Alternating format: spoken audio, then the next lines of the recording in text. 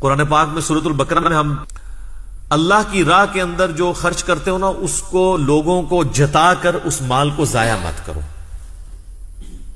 फिर अल्लाह तला ने उसकी मिसाल दी है कि ये तो इसी तरीके से है जैसा कि एक चटियल सा पत्थर हो और उसके ऊपर मट्टी पड़ी हुई हो और तेज बारिश आए तो वो बिल्कुल धुल जाएगा ना। इस तरह तुम्हारे नाम है, माल से नेकियाँ धुल जाएँगी, खत्म हो जाएँगी, अगर तुमने रियाकारी के लिए नेकी की।